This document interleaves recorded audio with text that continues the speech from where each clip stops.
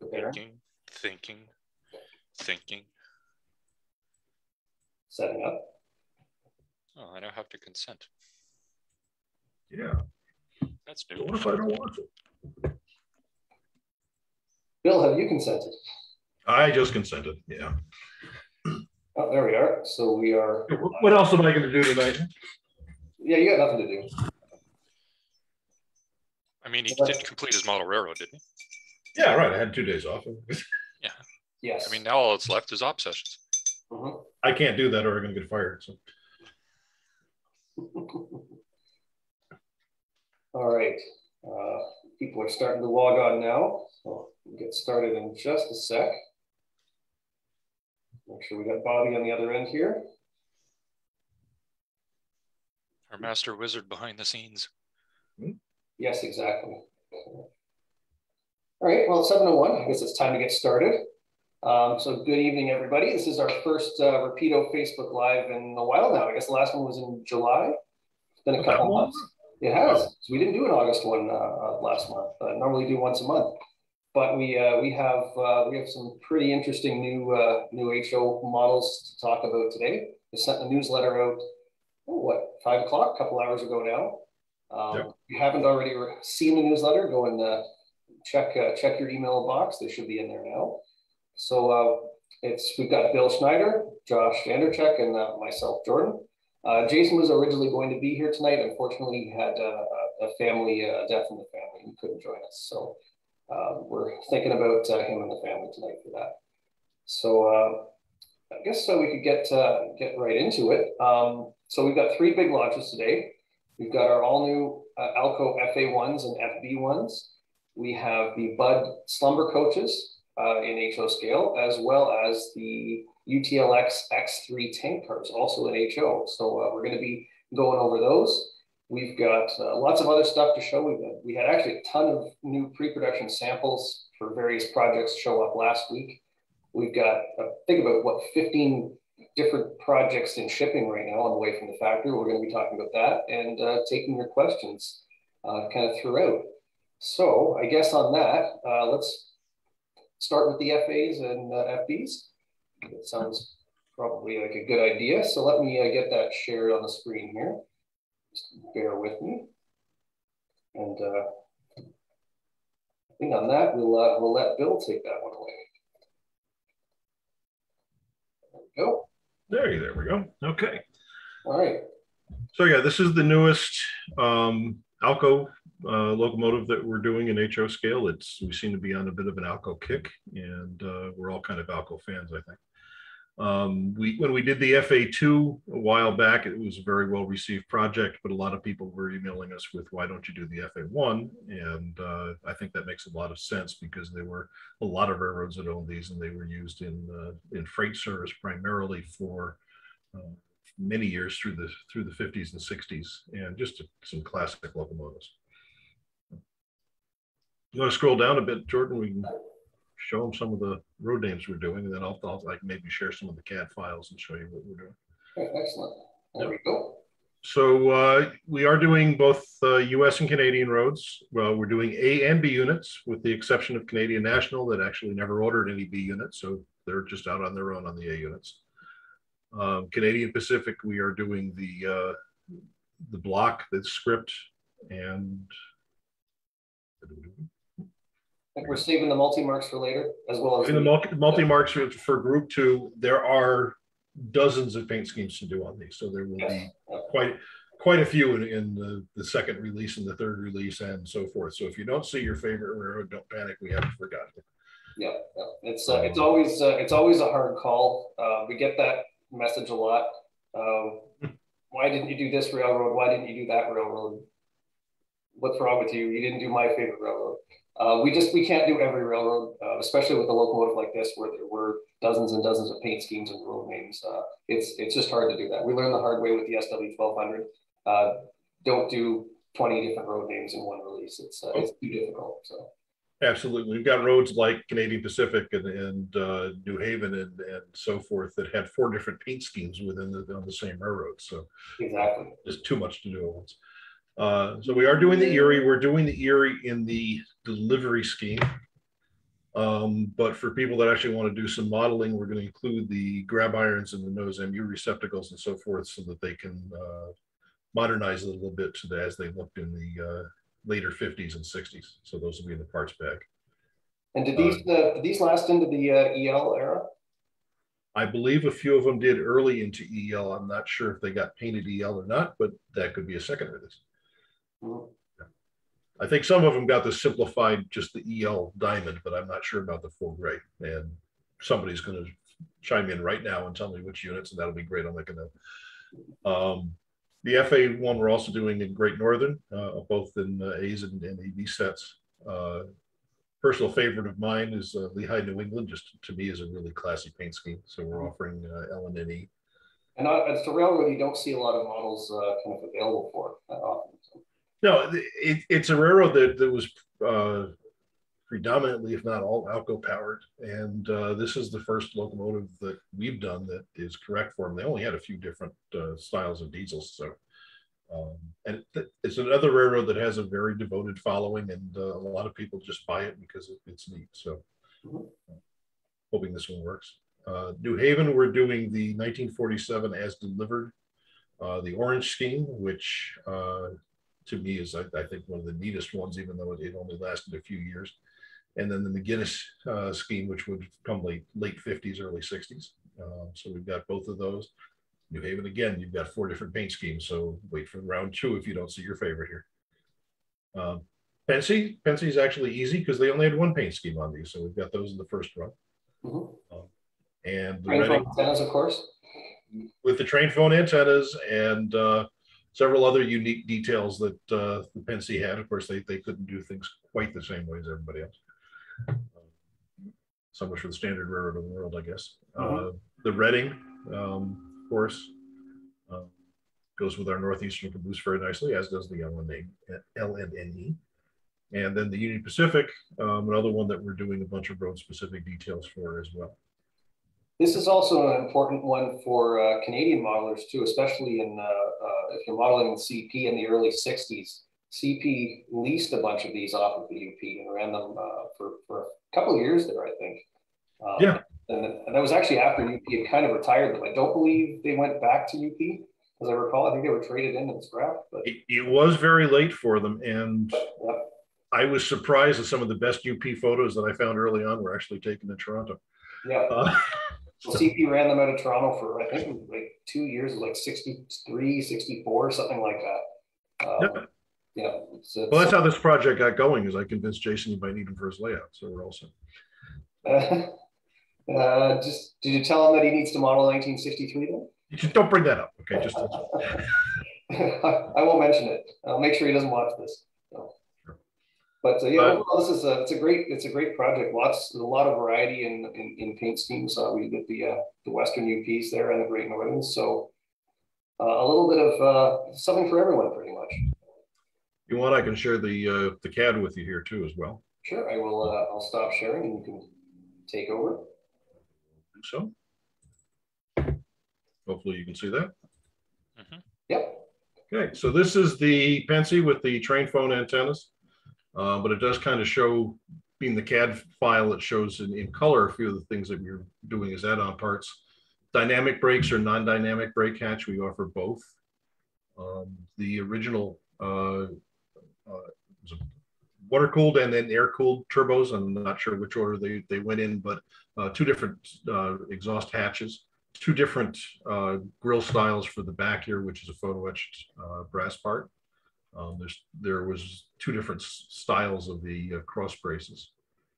Um, side screens are of course photo etched, and they are also tabbed into the sides so that they won't pop out, uh, which is a constant problem with some of the earlier ones. Yeah, we fixed that on the uh, the second run. Uh, we adjusted that uh, design Correct. of FA2s. That is. Um, we're doing single and dual headlights um, on the front. We're doing the flat number boards like this, and then also the angled number boards, which uh, I can show you. This is a UP shell, so this has the angled number boards. Uh, UP also has the rain gutters above. Uh, it has extra handholds on the roof. Um, there's a cooling coil that the UP added to the roof up here uh, that we're including with this. Um, typical of, of the other Alcos that we've done, it, it does have a full underbody detail with all the extra pipes, uh, air lines and, and valves and so forth. Uh, the steam connector lines are coming off because this was a freight unit, but these are preliminary CAD drawings. There we go. Nice Several different hor- nice Several different horns of Sorry sorry about that, Bill. Go ahead. No, good. I was just going to say it's nice to see the uh, the two different versions of the uh, the number boards. Um, CP also had a batch, a very early batch of FAs that had the uh, the, the earlier style, the, the, the straight style number boards, which we could do in the Yep. future as well. And there were actually two different straight style number boards. One had kind of rounded corners and one had squared off corners. And uh, so we're doing the rounded one in this batch, but uh, if we do a road in the, next batch that needs the other ones, we'll probably include those as well. All right, excellent. Um, that's good. That's a good project. It'd be interesting to see uh, see uh, how that does. But I think it'll do pretty well. Um, so uh, why don't we just take a quick uh, quick break and go look at uh, some questions here. Sure. We'll ask her. We will have one or two questions, and we'll go back to the uh, the slumber coach next. Um, one might kind of be for Josh. Do we have uh, uh, an F fifty nine production update? Um, as far as I know, they're well advanced in production. Uh, we're just going over final artworks right now for the uh, box design. Mhm. And as well as instructions, which is that's always a good sign when the factory's asking for that. That means they're they're well along with with getting the product ready. Excellent. And what do we think for a delivery? Kind of late this year, early next year? Uh, it depends on shipping. I mean, it could get here next year. It could get here in 2030. We don't know yet. Exactly. It could, even if the factory, uh, like like we've, uh, you'll you'll see kind of an update that Jason put in our newsletter today. Um, the shipment could leave the factory on January first and not get here until March.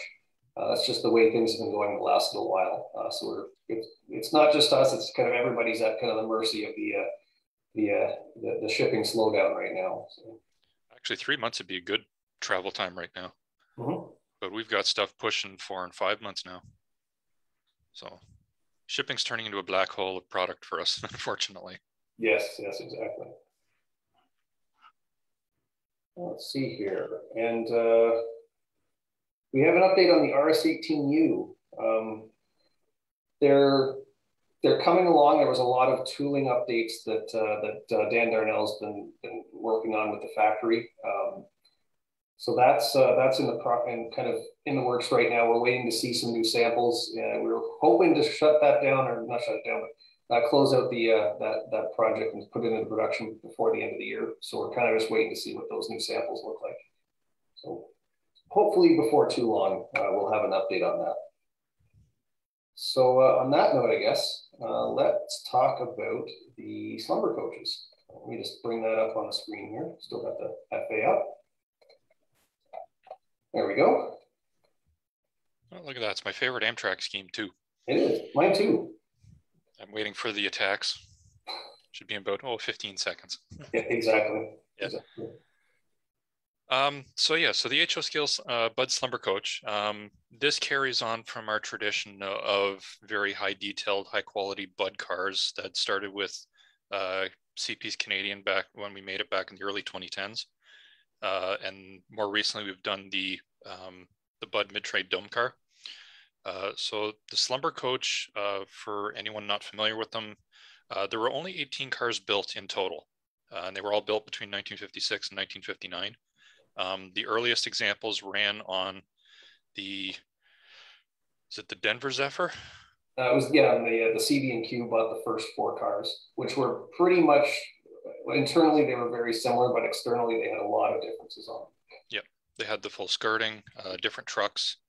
Um, yeah, they were they were a bit of a different animal.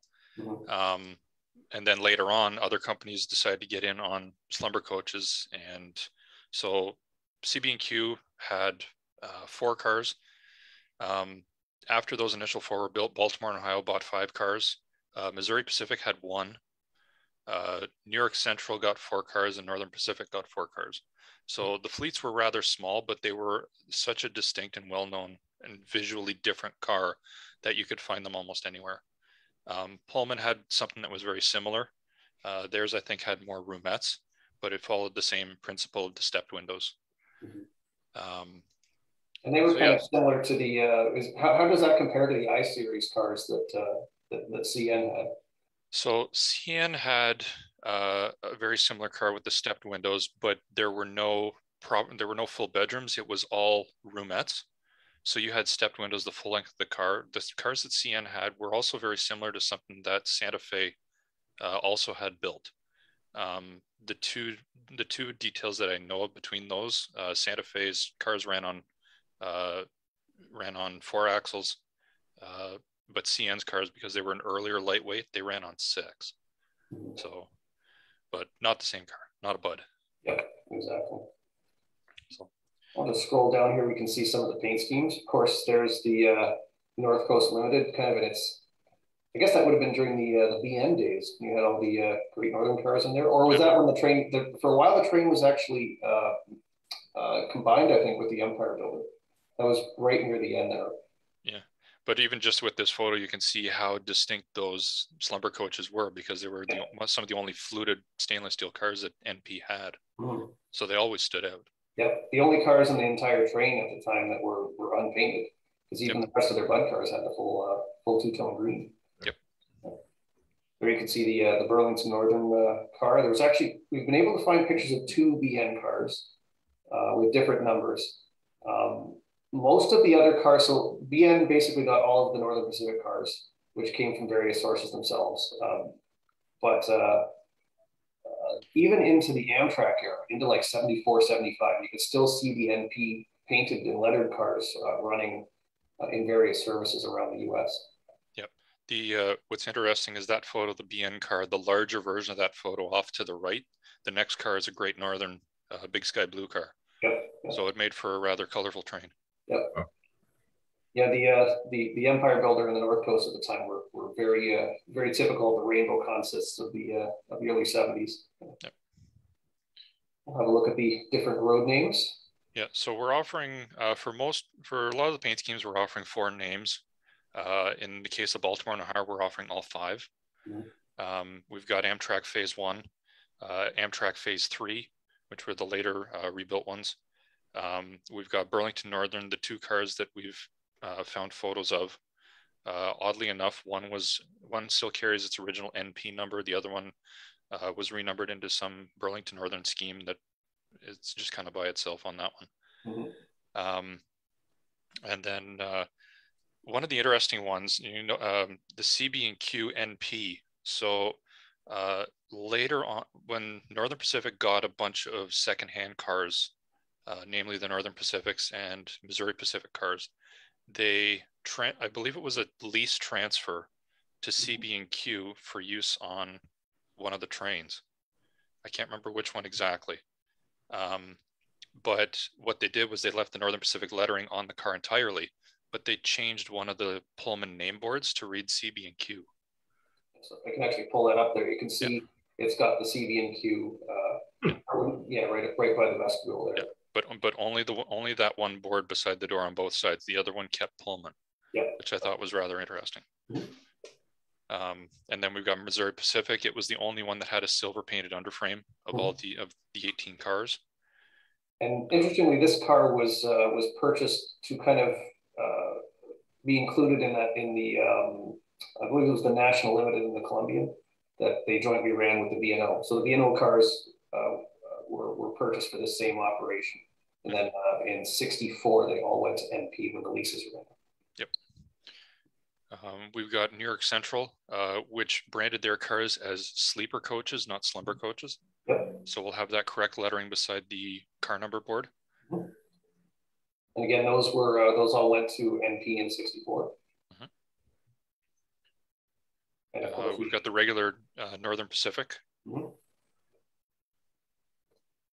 And for anyone doing a custom road, uh, I've already seen a couple of comments of people saying that CP almost ended up with some of these. Uh, well, now's your chance. You can decorate one up for Canadian Pacific if you like, or your own freelance road. Yep, yep. Just slap some uh, decals on there if you want, and uh, you get every different number board. So there's all kinds of every different size of number board name board. They all come with this car. Yeah, you'll get uh, you'll get blank name boards uh, for the middle of the car. Mm-hmm. you'll get a couple of the painted Pullman boards, and you'll also get the slumber coach painted board with the uh, with the car number board as well. Mhm. So And of that way, sorry, go ahead. that way it saves you on decaling some some elements of it. Yep. Uh, of course, we do have full interiors, uh, full lit interiors, SMDs throughout uh, to provide uh, kind of even, uh, clear lighting and uh, the kind of Rapido signature full underbody detail. So we've included every every detail part that we could possibly fit into these cars. Yeah. So anyone that has uh, some of our previous uh, Bud cars, um, the same details carry over to these full underbody detail, uh, separately applied grabs, uh, sprung diaphragms, uh, our unique stainless steel finish. Um, the trucks have also been updated too, as these are slightly different from the ones that uh, we've made in the past. These are uh, GSC castings. Mhm. The 41 NDO 11s. Um, and they also have, we are also going to include the disc brake detail. And uh, That's something we haven't done on the previous Bud cars. Is am, am I correct? No, because I think this is one of the first ones that had disc brakes, Yes, yes. um, or at least the first one that we've modeled correctly. Mhm. Uh, the Canadian Pacific cars never had disc brakes originally. Uh, I believe they still don't. I'm not sure if those were retrofitted or not. Mhm. Um, but even like the bigger car, like the uh, the mid train dome, it never had disc brakes, or at least the model that we did. Nice. Uh, I don't. Do you, you don't happen to have the CAD work up there, do you? Uh, you If, do if not, don't worry about it. We can. Uh... But either way, um, yeah, these uh, these should be uh, these should be neat cars. Uh, Amtrak, especially in the later years, they used them a lot on uh, the East Coast trains. Uh, you'd see them on the Broadway. You'd see them on a lot of the Florida trains. They they did have quite a uh, traveled career.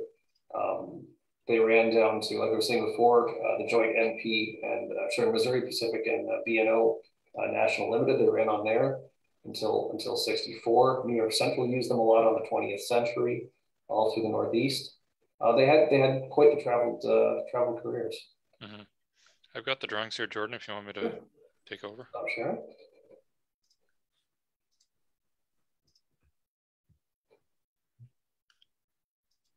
So here's the slumber coach as it stands. Uh, there's still a couple of corrections that we need to do. Um, but looking at the underframe, you can see the full detail. You can also see the wide array of available number boards Mhm. uh, in various lengths.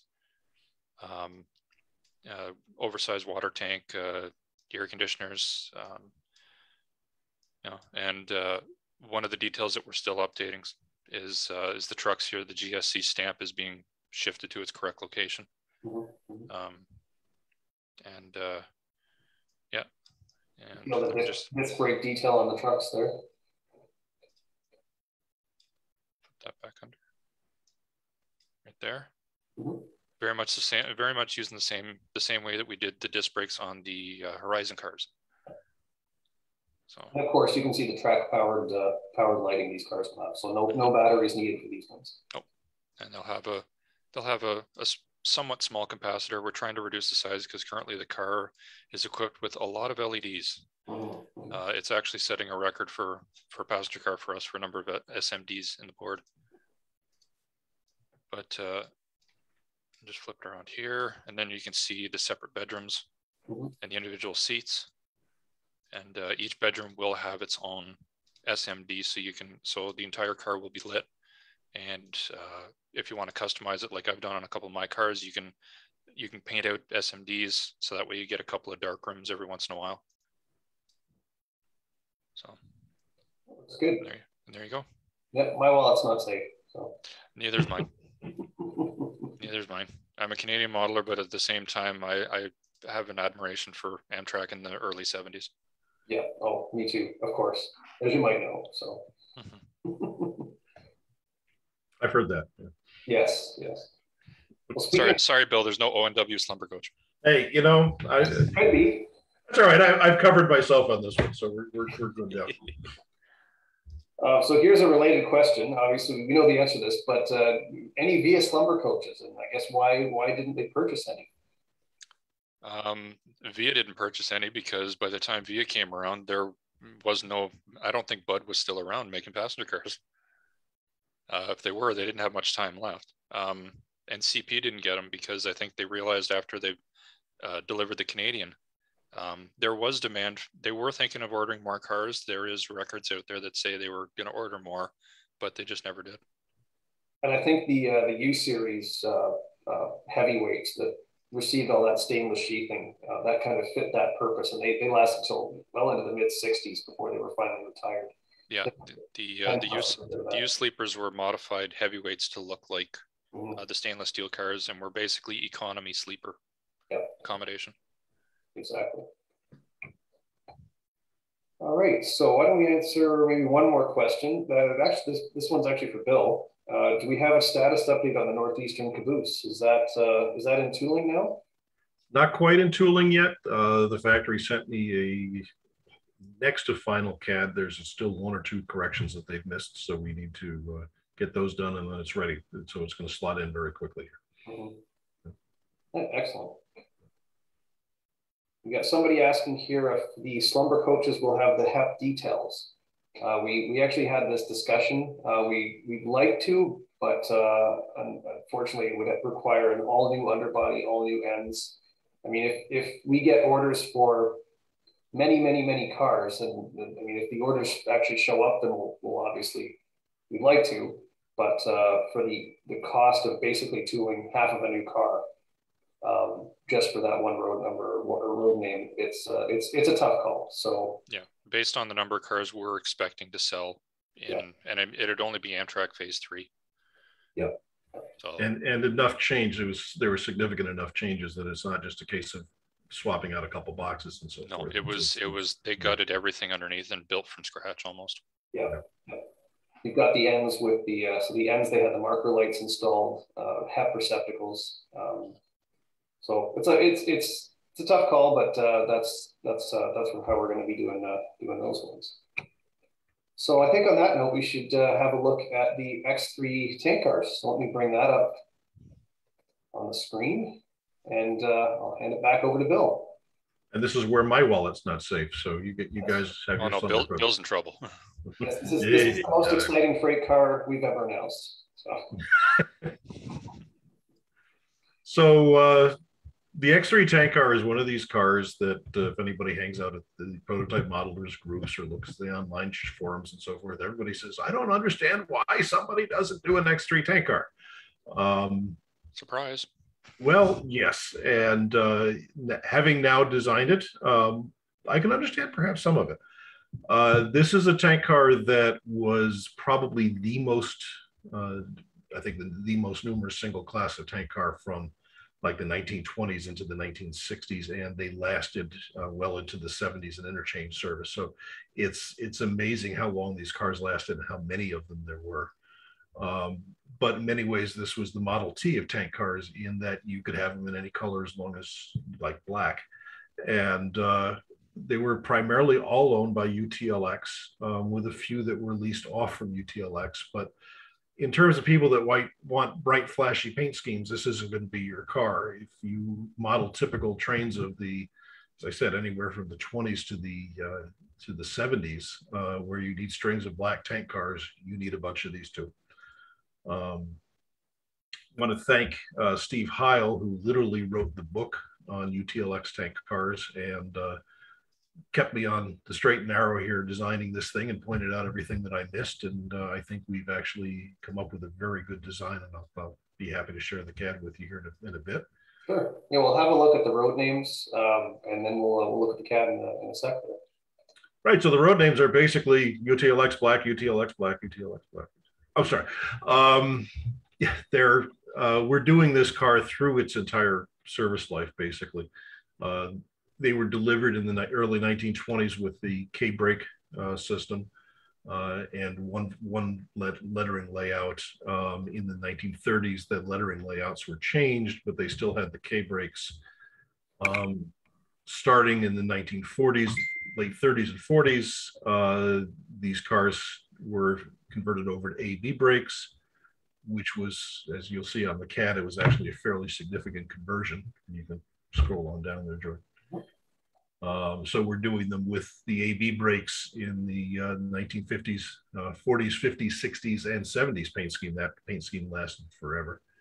Products tank car line. This was a, a line that um, basically was subsidiary of UTLX um, that was done so that people didn't think that they were uh, supporting Standard Oil at the time. This was a, a little bit of a political infighting thing. Um, Atlantic Refining had a few as one of our lease cars. Um, it was 1950s paint again. Difference being primarily lettering locations and dates. There's the Atlantic. Yeah. There you go. More UTLX, more UTLX, and more UTLX. You want to scroll it? So uh, here you have a Procor car. Um, these cars did operate in Canada, and quite a few of them were leased and, and uh, by Procor from UTLX, and then they were given Procor lettering. Um, and then we had a few that got into uh, work train service. So you've got oh Eastman Chemical. I'm sorry, I missed that one. Uh, that's again, actually yeah, that's a neat paint scheme actually. It's, uh, yeah, and see, there's something a little something other than just black on it. It's not entirely black. So not entirely black, right? Um, and then uh, we have Seaboard Northern Pacific um, work train cars. And if anybody out there has photos of these in other railroads and work train service, because I I'm sure they had them. It's a matter of always it's tough to find photos. So uh, would love to to get some photos. And what what era would these have been? These are these be 50, so the, the, yeah these the, both of those are 60s era cars. Okay. Um, yeah. the, the, the, seaboard and and the, uh, the the northern Pacific I think is actually late 60s, um, it, just before the BN merger. And of course, uh, undecorated with either brake style. Correct. So yeah, if you want to, um, mind I, will share the the CAD with you. I'm just going to walk through sure. quick what we're doing here. See this? So this is the original as-built version of the car. Uh, a couple things to point out. The This has got the K-brake with a single uh, combined reservoir and brake cylinder on the bottom, uh, and one arrangement of brake levers. It has a handbrake that's mounted onto the end platform on the top, and a coupler cut bar that's mounted on top of the uh, deck as well. Ignore this other one for the moment. This is a, the factory loves to put everything together. Uh, it has, they'll have the uh, unique UTLX tack boards. Uh, the two on the side are missing. This is still an in progress CAD. You'll also notice walkway on only one side, which was typical of these cars. So if you get one and you think your parts are missing, actually they're not. Um, and then the earlier cars will come with this uh, standard uh, Andrews truck. This is the AB version, a little bit later car. Uh, at this point, they went over to the Bettendorf cast steel uh, trucks. The hide this so that it's not confusing. They went to an end-mounted brake wheel um, and an underslung coupler cut lever.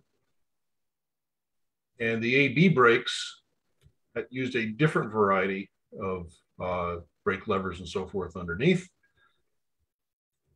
And the reservoir below and the AB valve up above. So it's basically a significantly different underframe on this.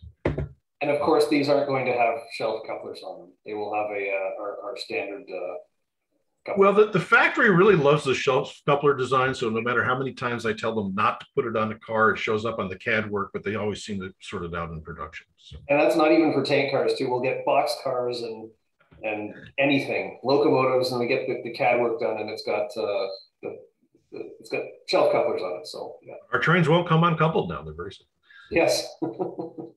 Um, the other thing that we're trying to do, and, and we'll we'll see how this comes out. My factory insists they can do it is to actually have conical rivets on the tank car, which would be a first because they, uh, uh, if you look at photos of a real tank car, they have these conical rivets, and uh, it's not actually been done before in HO scale. So uh, bear with me, and we'll see how that comes out in the first sample. All right, we'll look forward to it. And uh, when do you think these will go into two? And these were, I think, did Jason mention they're going into two and pretty soon? Yeah, um, absolutely. We're uh, I'm essentially ready to, to, to pull the uh, pull the plug on these and let them go. The uh, the only thing I've got to do is clarify that they have the right parts to the right versions. So uh, yeah, hopefully uh, like starting next week. Oh, very good. And on that, uh, do we have any plans? I know it's still we're just getting this launched, but any plans down the road to do 6,500 or 8,000 gallon versions of these cars? By lots of 10,000s, yes. Um, so um, the 6500 is a little bit more of a challenge because most of those I think were in a shorter uh, length uh, frame, shorter wheelbase. Uh, but there were a number of 8,000 gallon cars that used exactly the same frame. Um, there were also some uh, two two uh, compartment and three compartment tank cars that uh, were were either built new or modified from these again using the same frame. And I would love to be able to do the entire series. Uh, so yes, I would love. Good start. So. Yeah. All right, so uh, that's the tank cars. Uh, why don't we uh, do uh, maybe do a couple more questions here, and then we'll go on to the order deadlines that are coming up this week. Um, this is actually a good one for Josh. Uh, can you just basically give a rundown of the lighting in the Comet cars? Uh, what will be will that all be controlled with the Rapido lighter, headlights, marker lights, ditch lights, interior? Yes. Um, all right, I got to think back on this one because it's been a while since I designed that. Because um, we've we've made changes along the way. Uh, so the Comet cars, the interior lights are by default on. If you want to turn them off, you wave the lighter over the middle of the car. It'll turn your interior lights off. Uh, marker lights on the end, uh, they're defaulted to off. So you wave the wand and they will toggle uh, into an on state if you want them. The cab car was the tricky one because we hadn't yet developed um, a design for a circuit board yet that would accommodate a decoder but you're still able to control all the lights on either DC or DCC using the wand. And I believe it's you wave the wand over the cab and you toggle the headlights and ditch lights. And if you wave the wand slightly further back, like where the lit number board is on the side, that is where you would control your end marker lights. So that way you're able to have both. If you wanted to, you could have both on at the same time. You could have none on when you're parking the train you know, it, it still gives you flexibility for operation. Um, moving forward, we're still working on designs that will accommodate a decoder, and we're hoping to have those working for when we uh, release the bi-level, the Bombardier bi-level cars. But so far, for the couple of tests we've done, so far so good. And uh, yeah, I've just got a photo of some of the uh, the samples that we had arrive. Uh, I guess it was in August. So we got the ConnDOT coach and the M, uh, MTA uh, cab car there. Mm-hmm. Yeah, they, they look gorgeous. Yeah, and they actually roll incredibly well. Uh, when I was photographing these, I had a hard time keeping them to sit still. I, they kept rolling away. They, mm-hmm. It's the slightest grade on the uh, on the photo booth that they would try to roll off. So yeah, that was fun. I'll be it'll be interesting to see um, what customers' uh, abilities are with pulling multiple cars at once. Mm-hmm. Uh, hopefully, on a flat, 10 cars should be no problem for a properly weighted locomotive. Mm-hmm. Mm-hmm. And we'll, maybe we'll get some kind of video up once uh, once the production models arrive. And uh, that's actually not that far away. Did, these have now shipped from the factory, as I recall. Uh, yes, they have. Yes, so probably see those probably well before Christmas anyway, probably in November sometime. Um, again, it's as we mentioned before with shipping, it's uh, it's it's kind of a shot in the dark in terms of when they're actually going to arrive. We've had products take two months to get across the ocean, some six weeks, four weeks, five weeks. It's all it's kind of all over the map right now. So, that is the uh, the Comets. Um, so we can get another question here, then we'll go over to the order deadlines. Um, for the X3s, will we be including decals uh, for the placards, or will they be just coming blank, or will that coming be coming pre-printed from the factory? Um, I haven't decided that yet, to be honest. Um, my guess is we will probably do one placard um, that is uh, pre pre-printed, and then the, there'll be decals available. I think there are some out there, and if not, we'll supply some artwork to uh, one of the decal manufacturers and let them uh, do some accessory decals. Okay. Uh, one more X3 question. Is this the early frame design uh, used on the cars built, being built in the 1920s? No, this is the second frame design with the, the more or less straight across end sills. They, they did vary the, the, uh, uh, the frame design somewhat over the years. So this is, this is the, I think starting in the mid 20s, I think is when this one came in. Okay. And uh, one more question for you, and then we'll, we'll go on to the, uh, the deadlines. Um, We have a question here about the FAs, the CNFAs. Someone noticed that uh, in part of the yard they have an M3H, and the other side of the yard has a single chime for this for CN. Uh, do you know which horn will be coming on the endings? It's whichever one is most correct, I guess. So. Well, and and as, we do in a lot of things, we'll probably will install one and have the other one in the polybag. Would be my guess. Um, and uh, I'd have to go back and actually take a look at the photos. But uh, um, a lot of these were were delivered with just the single chime flat style air horn, the Wabco or equivalent, and uh, then Prescott later horns. So um, we'll have some in the polybag for for optional horns on most of these engines.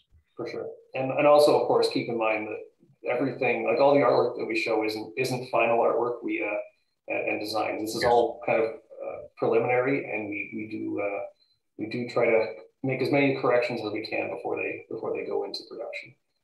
Yeah, just to reinforce that, the the the launch artwork is always done in a bit of a hurry the week before the launch, and then we do something like this and say, hey, so we'll say, hey, how come one has one horn and one has the other, and we have to go back and fix it. So yes. This is not final production artwork on any of these projects by by a long stretch.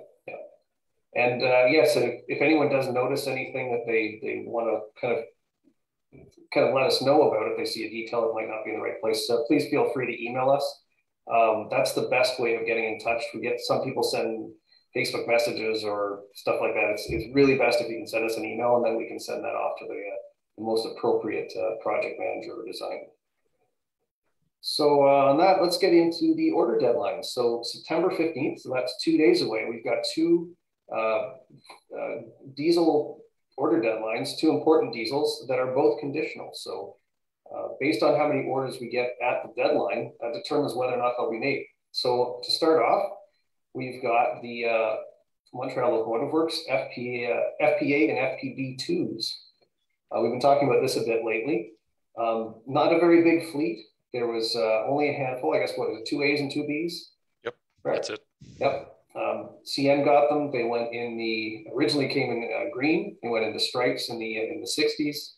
Uh, in the Via, uh, Via's uh, blue and yellow in the, in the late 70s there. Uh, one of them actually still exists. Uh, what, uh, what was the railroad again? Uh, New York, New York and Lake Erie. Yes, correct. And it's still still running down there. Um, these are a conditional announcement. Uh, these, and also keep in mind, these are not the same as the FPA4s. The FPA4s had different details. They were a later kind of evolution of, uh, of these locomotives. um, but uh, they're an all new shell for both units. And uh, we do need to get those orders. If, if we kind of hit that deadline on the 15th and they're really bad or they're not sufficient, we will have to unfortunately cancel this project. Uh, we don't want to, but uh, that's just the reality. We, we can't tool a locomotive that that, that uh, won't break even, of course. So. Yep. And, and if that didn't make you feel guilty enough for not ordering one, watch Jeremy's video with with his menagerie of pets. It's wonderful.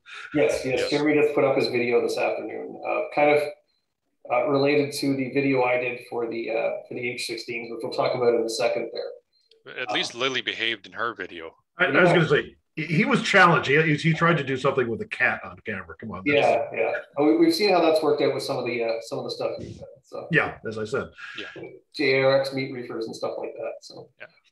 Um, one of the biggest questions we've had regarding the FPA2Us is where did they run? Mm-hmm. Um, unlike a lot of prototypes that railroads had, where they would run them for a little bit and then just kind of push them off to the side, once CN had these rebuilt um, into FPA and FPB2Us, they ran them to the very end. Like they were, they put in regular service alongside the FPA4s and FPB4s. Uh, I've seen photos of FPA2Us leading uh, the Ocean Limited out of Montreal towards Halifax. Uh, I've seen them on uh, corridor trains between Toronto, Montreal, uh, Southwestern Ontario. I've even seen them on the Montreal section of the Canadian mm-hmm. Uh, that ran from Montreal west to Sudbury. So anywhere you saw any of the Alcos running, these would be in there as well. They just ran them as though they were FPA4s. And they lasted into the 80s. Uh, was about yes. 82, 83, 84, somewhere around there. They were they were finally withdrawn. Uh, via uh, one of the, I believe it was one of the A units uh, was withdrawn in the early 80s.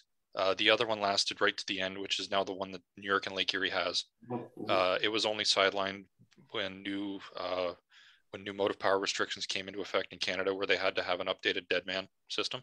Yeah, yeah, the RSC can safety control equipment. Yeah, um, but otherwise, like they just they ran them. You know? yeah. I wouldn't say they ran them into the ground, but they ran them until they died. Oh yeah. yeah. And uh, as you can see, we've got them in uh, in 80 sets. So we've got uh, all the numbers for uh, CN green, and stripes, and uh, and VIA, and they are all available in either DCC sound or a regular DC uh, silent version. So um, if you're interested in these, we, we really want to get these made. Uh, so please uh, please go see your dealer uh, and uh, or, or, order them from our website and uh, do it soon. Like about two days. So. And th- that photo right there, that was a CN publicity photo for the launch of their new 1961 paint scheme. Yeah. And they use the FPA2Us. mm-hmm. And well, at FPB2U. Yep. And they look fantastic. Very, uh, very nice and shiny and clean, especially for the winter. That so because it was about th- four miles from the, the shops. Yeah. So wet. Yeah. Yeah, I believe that was Saint Lambert, Quebec. Yes. Yes. All right. So that's the uh, that's the FPA uh, FPA two U's. So the other one, of course, we have. Um, you see that there, the H uh, H sixteen forty fours. This is the other conditional announcement we've been uh, talking about lately. Um, we had originally launched this project, I think the beginning of 2020, was it? somewhere around there, late 2019. And uh, yeah, we just, the orders never really, they never really came in at the time. So we relaunched in June. We added a bunch of new paint schemes. So uh, me just scroll down here. So we already had CN, uh, CN Green, but we added CN Noodle and we added CP Multimark uh, in four uh, road numbers for each, and also the single New Haven in the, uh, the Alpert scheme uh, to help boost some of these orders. So we've got quite a colorful collection of different uh, different road names: the Virginian units, Penn Central, uh, Norfolk and Western, uh, all both versions of New Haven. Um, you have to love New Haven for not being able to paint two locomotives alike sometimes. Exactly. Why did they paint that one just like one single unit like that? Is one paint shop must have liked. I, I don't know. I'm sure there's a good reason that the New Haven guys will tell us, but yeah. Yeah. Of course, there's the Milwaukee, CP in both the block and the multi-mark, and CN Noodle, CN Green, and B&O. And of I course, also like Jordan when you reference colorful paint schemes and then said Penn Central. Penn Central is. Hey, what's wrong with black? Come on, yeah. we're doing well with black things. It's very elegant. So. Fifty Shades of Black. That's right. How many different tank cars are Penn Central units here? Exactly, exactly. And of course, no two H16 uh, or almost no two are alike. Um, each railroad, which is very typical of the time uh, when they ordered from FM, uh, each railroad kind of specified different parts and features and details, and every single one was different. And we, we are replicating all of those differences. Yep. Uh, we've got two different truck styles. You have the trucks that came under the uh, the Canadian CLCs, or the uh, I believe different one that came under the the uh, the FM built units in Wisconsin. Um, different horns, bells, grates, and everything. Um, pretty much everything on uh, that's unique to each locomotive we are we are designing into it. But of course, um, it's conditional. We uh, we're, not seeing the numbers yet. They're, they've improved quite a bit. Uh, we're expecting these will do quite well after the deadline, but uh, we need to get those orders in, uh, or or the project uh, is may not might not go through. I think the, the orders are picking up, but I think one of the most common questions we get is how are the orders going on such and such a project? And honestly, we never know until the day after the deadline. And uh, we can predict where we think things are, but uh, that's the nature of a deadline. People wait until the end to, to, get their orders in, and we don't tally them until after all the orders are in. So, yeah. uh, and yeah. one of the big issues is a lot of the dealers, and which are the larger orders, they'd never submit any information until the day after when they've got their totals. Okay. It's, it's human nature. The deadline is such and such a date, so I'll wait until that deadline to put every, everything in. It makes perfect sense, but it makes it difficult for us to sit here and try to predict things. So. Yeah. So we'll, we'll probably have a better idea in a couple of weeks, maybe towards the end of September. Um, it's not going to be the day after the order deadline because uh, we we do have the, uh, the, the orders team has to sit down and they manually go through every order, insert it into the system, and then we uh, we, we tally everything up, and it, it sometimes can take a couple weeks especially right now because we have so many shipments coming in the door. Um, we hope. Yeah, well, there, we, we just had the uh, So the first batch of B36s just came in last week, uh, two weeks ago. The N scale FP9As, uh, they they are actually shipping to distributors and dealers this week. Uh, we're hoping to get that out by Friday to get all the dealers and, uh, and all the orders out. Uh, then we have, oh, I can't, we've got so much stuff coming the next four or five weeks. Uh, HO scale F40s, N scale Comets, N scale Horizons. Uh, what else am I forgetting? With? The F30 flat cars we're going to have a look at, the 100 box cars. Uh, tons of stuff, actually. You mentioned you mentioned the X31s. I think they're. Yep, the X31s are, are in transit. Um, yeah. I'm probably forgetting two or three projects, but uh, there's a lot. There's a lot of them. The big problem we're having with shipping right now is because the ports are so backlogged and that we're having some of our products transferred to other means to get them shipped across. And just because of all that, some we know that we have some shipments somewhere between our office and the port. Mm-hmm. We just don't know where, and we'll get like a two-day warning. Your your shipment's going to arrive in two days, and it's like everyone scrambles. There's only like 3,500 miles between, so I mean. Yeah, it's it's it's just a day trip. It's fine. Yeah, of course. So. Of course, uh, for, for kind of the full list of everything that's coming, uh, this, uh, I think Dan Garcia just updated this today. So this is the current productions and delivery schedule for everything that we have announced. Uh, you can see where every item is in terms of order deadlines. We've actually got the October deadlines we're going to talk about in a minute too. Um, but everything that's in transit. So there we go. We've got the Procor GP20 tanks, the Gunderson Well cars, the, uh, the American F40s, the X31s, the Comets, uh, the F30 flats. The steam heaters are going to be leaving the factory, I believe, late this month. Um, uh, what else do we have coming in, in, the short term? I think everything else is kind of in production, but you can just see how much stuff is is, is coming before the end of the year or very early in, the, in, in 2022. And and this is, I know this this question gets asked occasionally too about is this the real schedule? Is this the, is do you have a hidden schedule? No, this is the real schedule. This is definitely when things are coming, is to the best of our knowledge. We don't have a, any sort of hidden backroom schedule that we. Oh, yeah. So when, whenever somebody, whenever someone emails us and says, "When is this coming?" Uh, we get this question all the time. You have provided no information on when this product is arriving. Well, we, we do. It's it's on the website and it's available twenty four seven. So please yeah. please have a look here. Um, it, it, uh, it, it has the most up-to-date information that we have available. Yeah. I mean, we do have an internal schedule, mm-hmm. but even I find it hard to read sometimes and understand what's coming when. So I just look at this because it's the same information. exactly. It's just made a lot simpler to read. I thought I was the only one. No, no. It's okay, Bill. We're in this together. All right. of course, there's all our N scale stuff plus our, our vehicles that are, uh, are are on the way in the next, uh, yep. next few months. So, so that's uh, that's that. Um, I guess we could probably. Oh yes. Uh, so the order deadline is coming up in October. So October fifteenth will be the next batch of order deadlines. We've got the E8 uh, A's and B's, the Auto Flood 3 coal hoppers, and the kind of uh, the rerun of the uh, Canadian mill gondolas. So I'll have to click on that quickly. Uh, these are new numbers we we I think the last run we did of these was what two years ago now. Uh, no, it was longer than that. I want to say it was like three or four. Yeah, yeah. It's it's been a while, surprisingly, considering we it was actually the Gons was one of the first projects I did at Rapido. Yes, yes. Well, a new run of paint schemes anyway, not the original design. I think that was a, a Dan Darnell. Yep. Um, hey, what are you about? Yep. Sorry. um, those fighting words. Yeah. Sorry, but um, yeah, and uh, for a lot of these paint schemes, a lot of them are just reruns. Uh, the one thing I will note that we need to update on the website, the artwork. Um, if you go up to the to the jumble, yeah, yeah. the artwork for the CN noodle, uh, that was an that's actually the incorrect artwork. The noodle is centered vertically on the side of the car. Mm-hmm. Um, that that it will be done, I guess, correctly. Some of the very early uh, painted cars, the noodle was shoved up high and I was going to do that one because we hadn't touched it since the very first run. But due to, I guess, customer demand, uh, it will be centered in the middle of the car correctly. Um, the PGE is an entirely new paint scheme, uh, black car with um, kind of basic lettering, but the large PGE lettering. Mm-hmm. Um, in the past, we did the green version.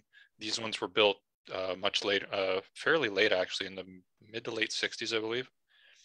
Um, most of the other ones are just new numbers, Ontario Northland, uh, both versions, TH and B. Uh, CP rail, um, the red one is slightly different from previous uh, previous decorations. The lettering is spaced differently within the ribs as per the prototype. Um, it seems it seems they had about three or four different ways of decorating gondolas uh, in the 70s and early 80s. Yeah. Probably depends on the day of the week it went through the paint shop. So yeah, and the CN early ones, the large lettering for the CN delivery scheme. Um, that's a newer number series that we haven't done before, and those cars will also come with a stamp for the Eastern Car Works out of uh, Nova Scotia. Oh, nice. Very nice. That's the gondolas, and again, that's uh, the 15th of October, so another just a little over a month away for that. Mm -hmm. um, so what was the other one we've got? Uh, go back to the delivery schedule here. So the uh, the auto flood threes, and this is the modern coal hoppers, the rapid discharge coal hoppers, the rapido discharge coal hoppers. I think I spelled that wrong. Uh, we actually have the first samples uh, just arrived, so maybe I could bring those up here. Bear with me a sec. There we go. Can you see that there? Nope. Not yet. Hold on. Let me uh, let me try sharing that properly this time. How's that? There we go. Yep. This is uh, this is uh, Matt's baby, the uh, the Auto Flood three. Modern coal hoppers. These started production, I believe, around 2004. They first hit the rails around then. High capacity uh, coal hoppers. Some of them were rotary dump, some of them were, were bottom dump, depending on which versions. Um, just go through the images here. And a lot of them, even if they were bottom dump, they did come equipped with rotary couplers. Yes, yes. See all the underbody detail there. All the rivets are uh, are on there. And again, for for a first sample, they've actually done quite a nice job. Mm -hmm. um, Separate piping. You can see the cast body. Yep. So, so you don't have to worry about weight. Yep, whole yep. floor is cast. You got all the interior bracing, all the rivet detail, and we are doing cold loads for these. Uh, you can kind of see uh, there's another there's a nice view, three quarter view up there. All the rivet detail on the inside. And uh, we'll go back. You can't really see it too well, but there is the the coal load. Uh, that's not that's not completed, so that's just uh, kind of an early early rendering of, of or not Look, looks a bit like a sand load right now. They just yeah, yeah, exactly. They haven't cut the coal texture into it. No, no, no. That's the Canadian snow load. there you go. Exactly. So these these are actually turning out to be uh, quite nice. Um, I'm going to flip back over to the uh, to the page there with all the info. And again, you can see all the different uh, paint schemes and road names and numbers we're doing. Um, we're doing it multiple multiple road numbers. So I think we're doing, what is it, 12? Uh, 12 or 18? No, 18, 18? Yeah, a lot of the schemes have 18 numbers available. Yep, so 18 numbers. Uh, they can be bought individually as well if, uh, if you only want uh, one or two cars here or there. Yep. You can also get uh, six packs of unnumbered cars. Yep. yep. Got the CEFX, uh, GLFX, GGPX. That's the uh, GATX uh, lease cars. So these are pretty much any color you want as long as it's silver. Exactly. Pretty much. They look neat. It's nice looking car. Go through them here. UP, of course, probably UP and BNSF will probably be our, our, our biggest sellers as they almost always are. And I keep, uh, I keep, forgetting what all the reporting marks are, so I'm just bringing up the uh, sales pack now. Sure. Do you, want to, do you want to share that? Uh, yeah, I can actually. Let me just stop sharing there. Let's go. There's also some extra renders in the sales pack. So nice. So there we go. So there's a couple of renders. You can see the load profile a little bit better. But mm -hmm. um, so yeah, so we got BNSF, uh, the CIT group uh, with the CEFX reporting marks. Um, also included in that is the Indiana Railroad two millionth carload special. Now, why would Matt have an Indiana Railroad car? You know what? You're going to have to ask him. uh, uh, GLFX, which is the Gulf Power Company. Uh, we got the GATX Corporation for GGPX, uh, Western Resources for KPLX. Uh, we got Carolina, Carolina Power and Light, and uh, Union Pacific. Nice. I think those uh, those have already done quite well. The orders have been very very strong for that for that car. Yep. So we're we're pretty happy with it. And of course, you can't just buy one. You got to buy them in. Uh, you got to buy long unit trains of them. So. Yeah. and these cars will come with our trademark uh, aluminum finish. Yep. Um, we're just finalizing the correct color tint for that right now. Mm-hmm. Mm-hmm. Uh, well, Matt is. Um, so yeah. All right, so that is the uh, those. Uh, and what else do we have? It was the. There was three things. As I recall, um, I believe we have. Oh yes, the E8. Uh, that's, Bill knows a lot about those. Uh, do you have some photos of that you want to share? I don't know if you've got them ready to go or not. But... Um, yeah, the ones that, that we put for the newsletter. Yeah. I, I don't have them ready, but I can get them up quickly. Well, either way, uh, while you're doing that, let me just share the page here. Let's show uh, all of the E units. So, yep, this is our uh, E8 project as we uh, announced back at uh, Christmas of last year. Got quite a selection of, of uh, road names. Of course, we got Amtrak Phase 1, the CB&Q. We actually have a couple different versions of those because there was, I think, there was one unit that wasn't painted in the uh, in the stainless. It was kind of gray painted. So we've got uh, different versions of that we're doing. We've got the CP with the high-sided uh, maroon band, the later version with the kind of more standard uh, CP uh, block lettered uh, version, multi-mark, the five-inch stripes, Erie Lackawanna, Illinois Central, New York Central, Pennsy in the uh, five inch or sorry the five stripe scheme. Southern, that's the Southern Crescent scheme from the uh, from the 70s, and UP. And oh, of course, can't forget uh, VIA. There's uh, we've got the both the 1800 and the uh, 18. Well, they renumbered them when the uh, when CP had their RS-18s built. These were renumbered to avoid uh, confusion, as I recall. Mm-hmm. Yep. So that's uh, that's uh, an exclusive for Otter Valley. And uh, yes, so the orders are open for another another month, and then we'll close that out and we'll put them into production probably right away, starting in uh, in uh, kind of mid fall.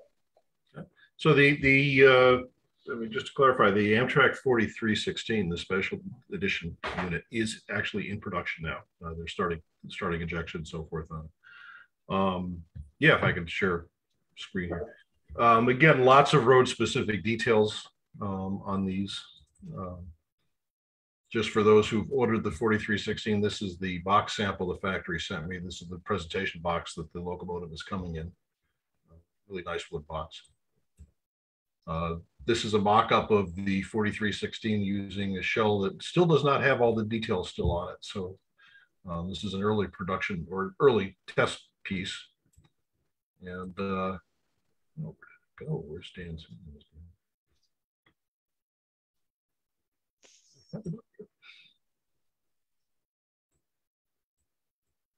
I was, well, we'll stop sharing for a minute. Yeah, stop sharing that for now. oh no, uh, Dan, Dan, is, Dan, so Dan Darnell, what I was going to show you is Dan Darnell is working on an Erie Lackawanna uh, shell that unfortunately didn't quite have finished for the newsletter, but it is looking gorgeous, which is, uh, so I get to play with the black ones and he gets the colorful ones. Exactly. And we'll, we'll have a video sometime, uh, sometime late this month, and maybe depending on, uh, on how that goes, September, early October, we'll have a video out before before the order deadline arrives in, uh, in, the, in, the, middle of next. And just to reiterate what we're doing here, we've got several different uh, body styles with different MU uh, configurations on the nose, different uh, back ends on the units, different uh, dynamic brake hatches, um, different steam generator hatches, different porthole uh, inserts. so it's really a bit of a Mr. Potato Head in terms of being able to do all sorts of different parts combinations to come up with a uh, uh, road specific unit. And uh, that's what we're doing. We've got a lot of, lot of different molds that are going into this project to make it work. And uh, speaking of the E8s, on, uh, I've got a question here about the VIA units. Uh, all of the VIA units will have operating ditch lights? Is that yes, yes. Yes. Yes. It's Okay. It's the on- only one that has ditch lights. Yes, yes.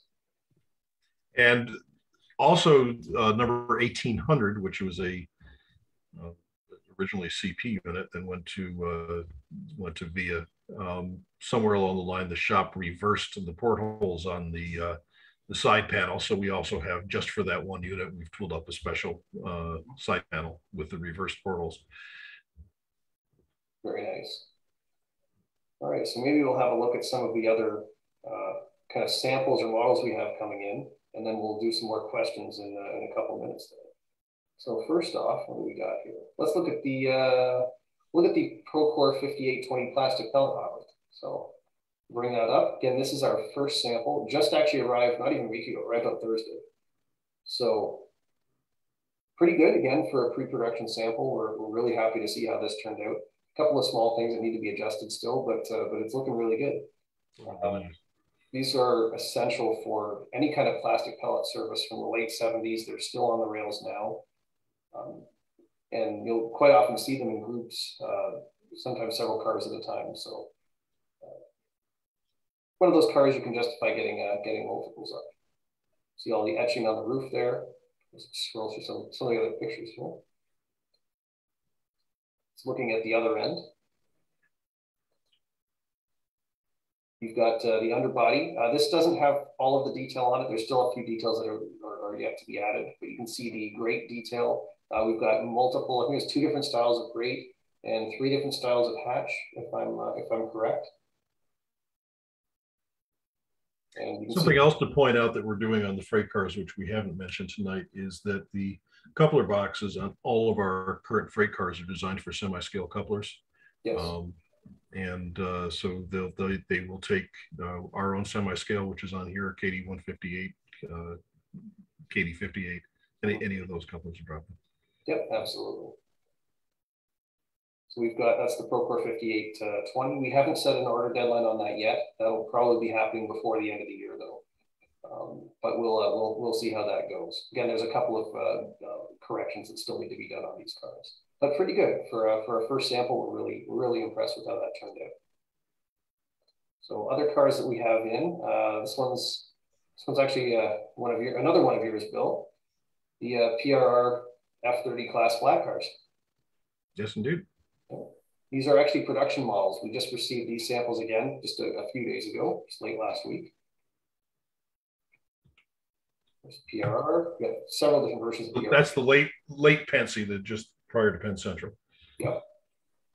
I think your color your colors are shifted a little bit here. 'cause Yeah, that's this is it's uh, some of them are different brightness. So I think these are just the uh, kind of the raw images, so they're not. Yep. Uh, yeah. This is the 1950s Pennsy Mhm. More of a reddish. and the as delivered Pennsy and Lehigh Valley, which is actually dark red. It's not.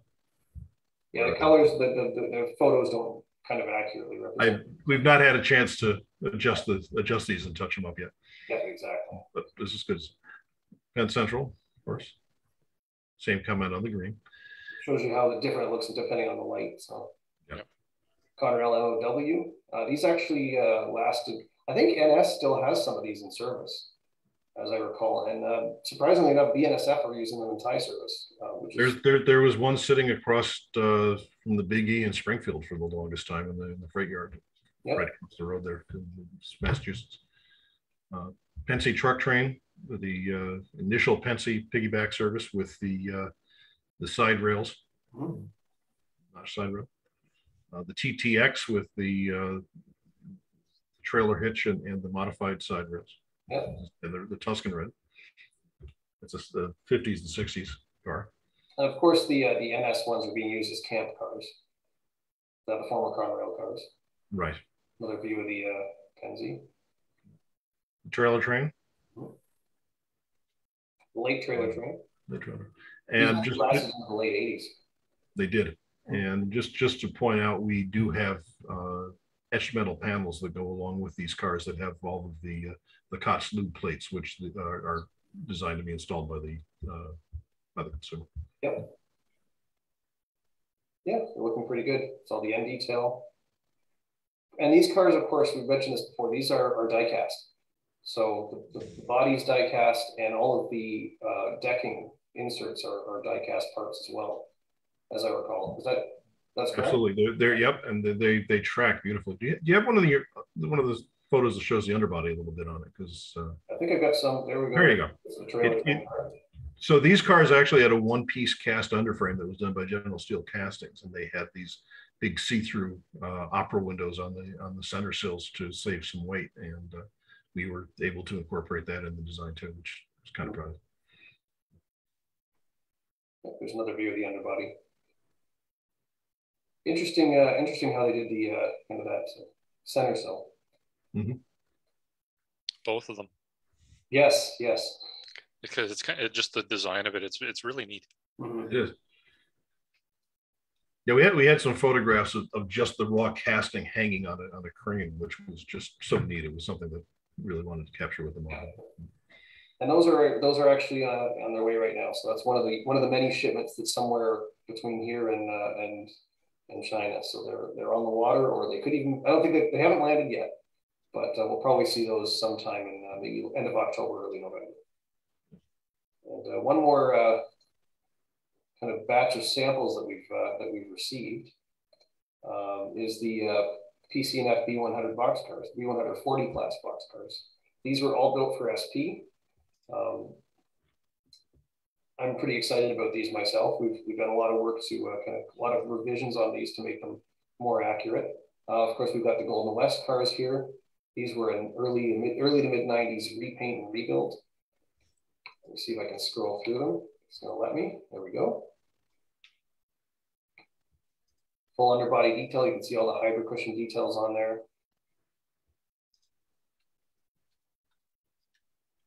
Side view. There's the SP cars. Uh, these were how they were delivered in uh, around 76, late 76. Um, on these cars as well, we are including, they're not shown in the photo, but uh, the ACI labels will are being included in the poly bag. Uh, they're actually um, kind of painted on the brass plaques, so you can just install those on the car separately. They are coming with them. Scroll through those quickly. So look at the roof there.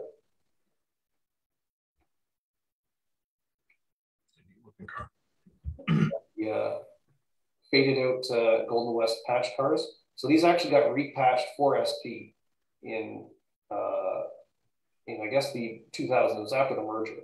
Again, these this photo doesn't quite show the blue correctly. It's looking a little bit uh, a little bit more baby blue. It's it's not. It's a little more faded out than that.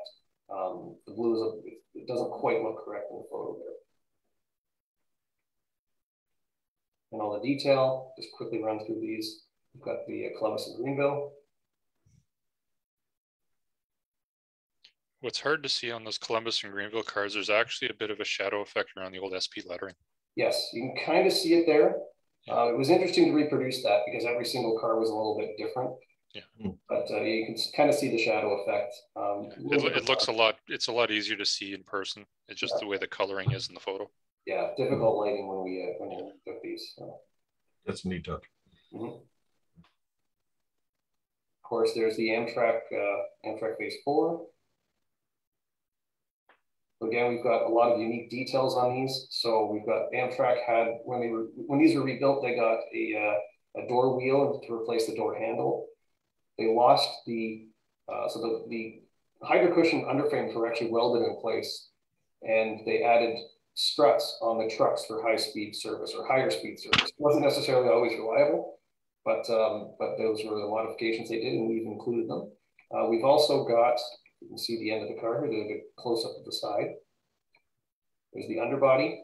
Now, yeah, they, they did uh, take off the hydro cushion, uh, kind of just the little cylinder device there. We left that in the poly bag if you really want it on there. Uh, you can put it on there if you want. You can see the separate door track, the uh, door is the end of the car.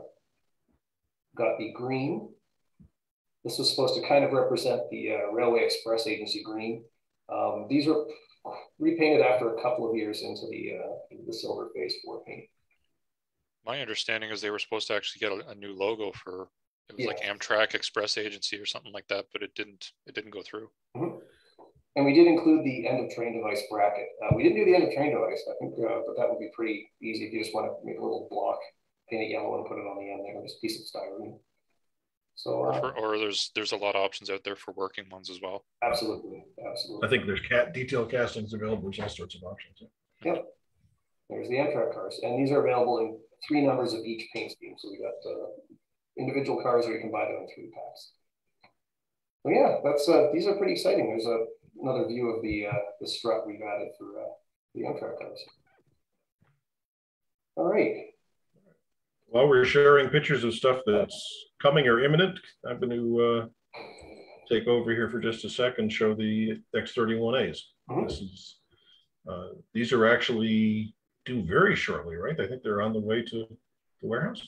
yeah. Uh, there's I think they're somewhere between here and Vancouver and the Pacific Ocean. And They're, they're, they're somewhere in the Great White North, I think. yes, Um, so this is the, these are actually production cars, less couplers. They sent me samples without couplers on them, but uh, this is the uh, the Pennsy Circle Keystone car.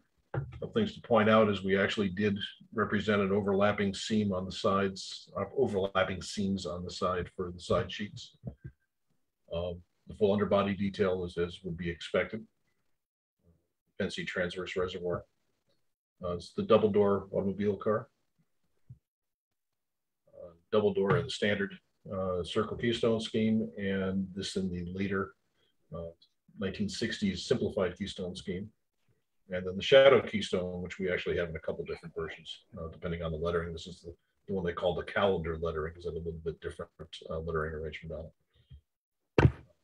This is the early Ajax brake wheel, which is on some of the cars, and then the later, which I believe is the uh, wheel uh, for these cars got random brake wheel assignments. So uh, rather than try to figure out exactly what wheel came on on which car, we've installed one and put the other in the poly bag for you. So you've got your option to modify the car. all right. And uh, we've got a couple people asking for more comet photos, so I'll see if I can bring up a couple uh, couple more shots here. Uh, keep in mind, these aren't final production models, so uh, they're not necessarily exactly the way the final ones are, but they're pretty close. So let's just let bring this up here. It's the NJ Transit Coach. And you can see the uh, those really neat uh, inside bearing trucks. Uh, this is uh, Josh did uh, you did a lot of work on this was your project, wasn't it? Mostly. Yes, it was. Yeah. That alongside the Horizons. Mhm. Different view there. That's the other end of the car. Far end, see all the HEP receptacles, coupler cut bars, stuff like that. Got that neat kind of tubular uh, diaphragm, marker lights. That that was one of the cars that had an unusual lean to it. Just disregard that. We discovered there was a bit of flashing on one of the trucks. Yes, yes. There's the ConnDOT, uh, close up of the ConnDOT car. Those have turned out really nicely. There was a lot of colors in that logo. Oh yeah, And a lot of colors we omitted from the logo. Mhm. even just all the emergency and the safety uh, diagrams there. I think all told, there's supposed to be nine colors in the in the state seal logo. It, is- it is a ridiculously Yeah, complicated little I think we. I think we got it down to four. Yeah, yeah. All the warning labels, SEPTA. SEPTA. yeah. SEPTA came out a lot nicer than I was than I was expecting because of that gray band. Yes. It- it's re- it's really hard to match a solid color with our stainless finish. Mhm, mhm. Well, aluminum finish. Sorry. Yep. The other car, you can see all the, uh, you've done all the warning placards and all the, the very tiny detail or the very tiny lettering. Not sure if it's even legible, but you can kind of see them on the, the side of the car there. All the emergency access uh, lettering on there. That was, the lettering on the SEPTA cars was very difficult to acquire. Um, it actually came down to sourcing videos uh, of trains, like just railfan videos, and we found one where a train stopped right beside the person in the station, and off like out of almost out of focus, you could see all the labels beside the door legibly. Mhm. Nice. So, to the to the random railfan in the Philadelphia area, we thank you. The view of it there. Wow. You can really see, uh, if I can zoom in there. It's a bit fuzzy, but yep, for entry, uh, something, something, something, emergency access. You probably know what that actually says, but Break glass. It's it's something about the break glass or or remove this seal or something. Mhm. Same with the other labels down by the steps. then the instructions by the door release. A bit of a brighter photo. And see the interior seats as well. Mhm. And yep, and of course, uh, full interior, uh, full lighting. Do you have a photo showing the interior? I don't think so. I've, I, we've shared them on Facebook a couple times before. Yeah. So for a lot of the cars, it is it, we have been able to replicate uh, the correct two-tone seating, the kind of the burgundy and the blue. Mhm.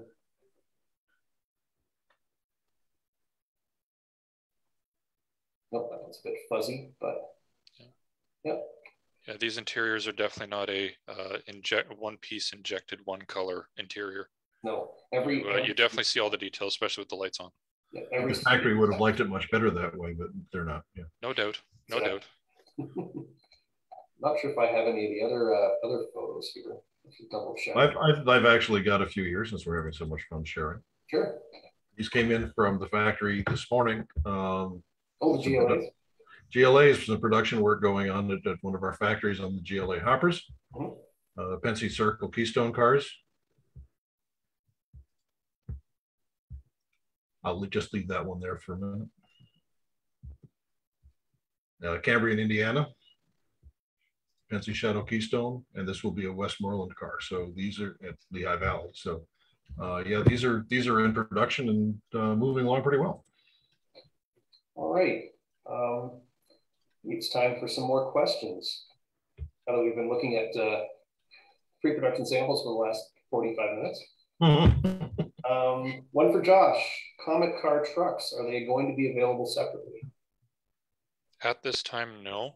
Um, our, our trucks are, I, I know what most people are asking. It's probably to retrofit onto uh, other manufacturers' Amfleet cars.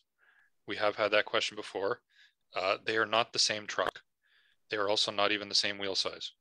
So, no. But we did do we did do the Horizon truck separately though, so that's uh, that we actually have in stock right now. That's right, we did too. Yeah, those all the, the Horizon trucks also are the same trucks used under Superliner. So if you have Superliner cars that don't roll as nice, you can even throw them under there. Exact- Exactly. Um, Bill, any idea when we might be ready to launch the H1B? We've already basically told people we're doing it. We've shown some Yeah, the uh, the factory is well along on the design of it. Um, honestly, it, with the E8 and the PA and several other projects that are in urgent production right now, the H1B has been sidelined a bit until I get back to it, but uh, it will be fairly soon, I would hope. Nice. And the slumber coach question. Now that you're making a slumber coach, does that mean an E60 is coming next? Uh, no, it means an RDC4 is coming next. No, just kidding. Uh, just kidding great. on that one. Hold on, I think that question was from Bobby. Of course it was. Somebody put something in the newsletter about an E60. I will have Yeah, to talk no. to that guy. No, uh, the E60 is not next. Uh, whatever that half-built version is of a GG1 that was used as a shop switcher, we're going to do that next. The one GG one half, yes. Yeah, the GG1 half. Yes, yeah. It was, it was actually like two thirds. I think they only cut the, the front end of it off. But Yeah. Either way, A horrible thing to do. yeah. Hmm. I got a question about X72s and how they're coming along. They are in production right now. Um, They are. Do some updating on the artwork and stuff like that. Uh, so they uh, they went into production as soon as the B100s kind of wrapped up. The X72s, I think, are, are starting up now. So Well, and they've, they've asked for production or for instructions and boxes. So that means that, like Josh was saying earlier, that's how we know that they're really serious about stuff. that's always a good sign. Yeah. Um, when are you going to make everything in N scale? Everything in N scale or everything that we've announced? Pretty much.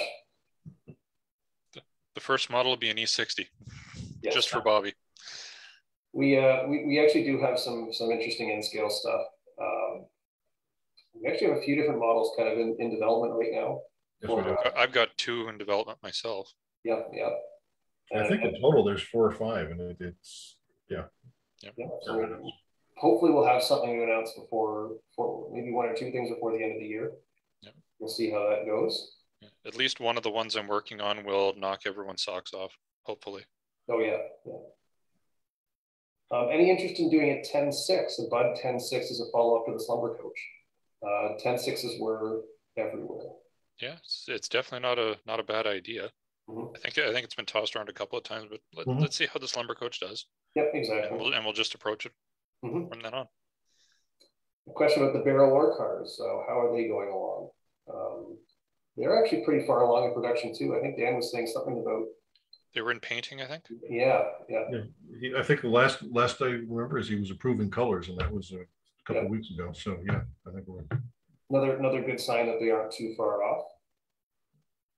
Uh, do you ever think you'll rerun the LRC locomotives? Probably not. They they uh, the, the tooling for that is pretty It's pretty rough. it's dated. Um, there's also a lot of design elements that went into the LRC that we no longer do anymore. Um, just the way we do body construction and uh, motor design and all that, it would it would definitely have to be a from the ground up re- redesign. So it's it's not likely, unfortunately.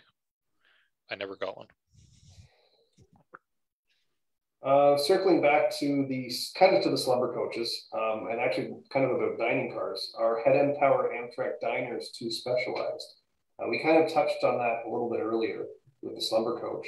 Um, the, the big problem with as much as we love to do that, uh, there is so much new tooling required. Um, complete underbody, brand new ends, new lighting for the markers and stuff like that. Uh, I'm I'm all for them, but it's uh, it's can you can you sell enough to actually break even or make money on it? So Yeah, I mean it, it's not like the older industry of brass models where Mm. you do a run of maybe 200 and that was it. yeah, Um, 200 cars and the price of a car is $850. yeah, It's yeah, yeah. I mean, I'm sure we could justify it if we applied like a, a really high premium to something like that, but the guarantee of them selling it would probably be really low. yeah, yeah. um yeah it's it's when you it's i think i've one thing i find with the industry is you're now getting into a lot of the more niche models Mhm. that have never been seen before never been thought of and Yeah. you're now eclipsing on an area where it's like if you do it you know it's can it sell or will it not sell Mhm, mhm. And it it is something that seems to come up with every car we do is can we do a version of it? And you know is it is it practical or not? And i think it, it we're still look at it at a case by case basis but in, in most cases it's just not not been practical from a cost effect you know cost effective standpoint. And we did that with the a lot of the Via Bud cars, um, Mhm. the the Skylines, the park cars over, over the last several years, where we did them in the modern paint schemes because it was just to, to retool even just individual cars for the HEP underbodies would would it would just make them uneconomical. So Mhm. it's unfortunate, but it's just it's just the, the way the way things are. So Yeah. Yeah. we were able to do it with things like the n scale canadian yes, um, and do hep end details because it's molded at, like by and large the body shell is molded as one piece yeah, yeah. and with n scale you can cut some corners within a reason.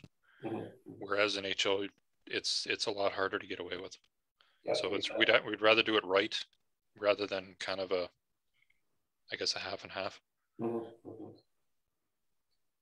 We've got our, uh, our, our monthly request for a GP40 TC. Only one this month though, so I'm sure that I'm sure we'll get a few after that. But yep but yes, let's see if I've got any more questions here. Wait for for Bobby to filter some out. Um, actually, here's a question for Bill. On the CN FA1s, are we doing the later crosswise exhaust stack? I guess is that the difference between the uh, Right. We're on all of the FA ones, we're offering both exhaust stacks. Um, we will have one, it's a clip-in hatch. Um, so the delivery one in that case will probably be installed in the model and the crosswise one in the poly bag and the parts bag. And again, it's just, it's a little clip-in part. So it's a matter of just popping the one out and replacing it with the other. Most of the roads did not change the paint scheme when they changed the exhaust stack. So that's, that's the easiest, easiest way to do it. So we do that across the board. Yeah, and of course, we'll, we'll have a look at that um, on a, on a, on a, on a, ro- a road name by road name basis when we, uh, Right. when we're sorting things out here. If, if they got both, we would include both of them. in there. Yeah. That's, Uh, for Josh, um, based on the success of the Comets, in HO and in N scale, I guess. Uh, do you see a future for other versions of Comet cars, threes, fours, etc.? Yes, um, the design of the, the design of the tooling does take into account the later versions, which had the middle high level door. Um, I'd love to do those. Uh, if there's demand, I'd love to touch on the original Comet cars, which when they were built, they didn't really have the Comet nickname yet.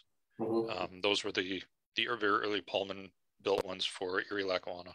Mm-hmm. mm-hmm. Um, yeah, there, there, there's definitely legs with the project. Um, I'd even like to do a rerun of the current cars at some point in the not too distant future with some of the as delivered paint schemes. Absolutely. Maybe even maybe in some some of the more unusual paint schemes too that have never uh, been done before. Speaking of speaking of the original comets, um, uh, you might be familiar with this, uh, Josh. So this was a couple of this is the 2019. uh, uh, Josh was uh, we were down at the Whippany Railroad Museum. This was this was this was the Turboliner.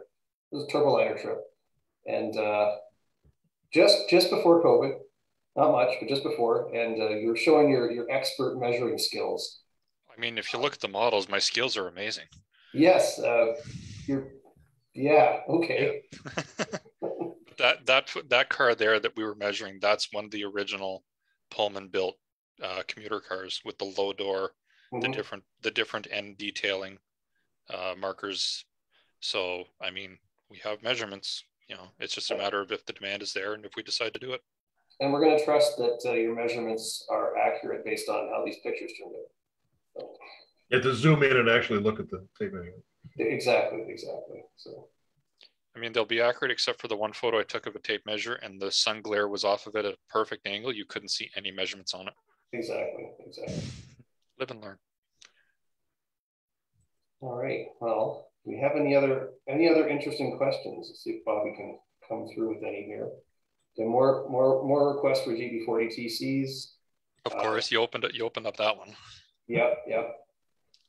Uh, any idea when the uh, when the H6 might possibly be looked at again? Is that going to be after the D10? Well, at least consider restarting that. Possibly. Yeah. I mean, personally, I'd like to see the project happen, but this is another one where, I'm, for reasons that are completely unknown to me, where the CP guys seem to order the D10s in, in, in huge numbers, and the H6 didn't. Uh, mm-hmm didn't garner the same support. So, um, you know, I'm hoping that after the D10's out there and people see what we're doing with it, which, by the way, the samples are, are looking great now. Yeah, yeah. Um, that uh, you know, the, the the there would be more interest in the H6 again, and, and I certainly would like to revisit. And uh, speaking of the D10, we we are waiting on a new sample, uh, so hopefully we can do a video on that well as soon as we can. We'd like to really close the order book on that on that project and get it into production. Um, it will probably at this point, not exactly sure when the delivery is going to be, maybe mid next year, just as a very, very vague kind of idea. Um, but uh, we'll see how that goes. Uh, we'll hopefully have some news in the next month or two. It all depends on the next sample, which is if they if they've addressed a couple things that, that Mohan and I had on it, and Dan, uh, we're good to go. Yep. Um, another one for for Josh. Uh, do you have an update on the, uh, they're doing some revisions on the RTLs. Do you know, uh, have you heard from the factory about that? So the latest on that is uh, there is a delay in getting the in getting the, the parts uh, modified and retooled. Um, a lot of the changes are fairly minor, but it's just it's getting everything accurate. And once that's done, we'll do a final injection to make sure everything is is ready to go, and then production can start. We can set the deadline. And they were working on at least a partially painted sample just to make things a little easier on our end, I think. Yes, uh, we're gonna get, we're gonna get, we're, we're actually gonna try to get it painted basic Amtrak colors. Mm-hmm. So we can at least, you know, show what the final sample is gonna look like mostly. Yes, yes. So, but I'm, I'm, I'm really excited for that one, even though I have no, no real connection to the Turboliner. Mm-hmm. You do. We do now. So I do now. Yeah. You, you I, bro- I, I broke it. You, you helped me break it. I still have to I still have to to, uh, to print off and, and frame that uh, that photo from uh, from Matt. So you got to you got to print the photo and then you got to frame that that notice from Amtrak for the damages. Yes, exactly. sarcastically. Like it, it wasn't a legit bill for damages, but We're, we're, we're gonna pay them in, in, in turboliners, HO turboliners. Yeah. Well, I mean, maybe we'll do one or two more questions and I think we'll, we're almost ready to wrap it up. We're over an hour and a half now. Um, any, any future for park cars or skyline cars? Maybe for a new run? It's been a while since we've done park cars, but that tooling is, uh, is. yeah, park car, park cars might need a redesign of, of sorts, much like we did with the the Skyline. Yeah. Um, another one of Skylines, it's possible.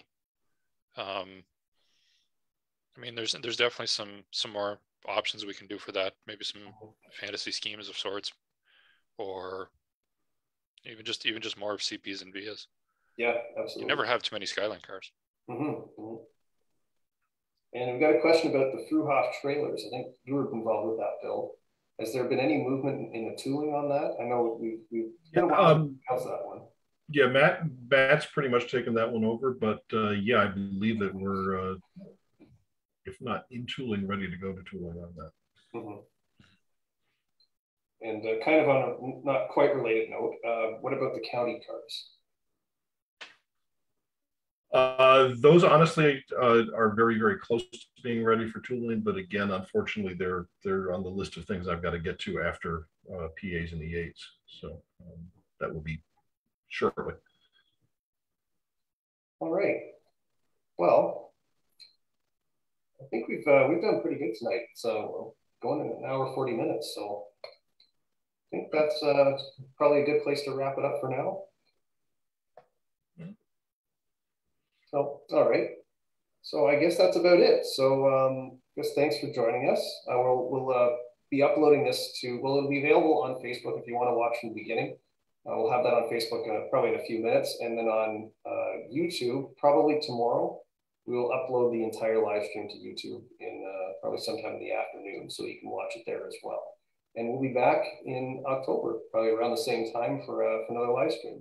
I do have Thanksgiving and Canadian Thanksgiving coming up, I guess, on the 11th. So we'll, we'll see how that fits into the uh, into the schedule, and uh, we've got some more new stuff to announce. So we will uh, we will see you then.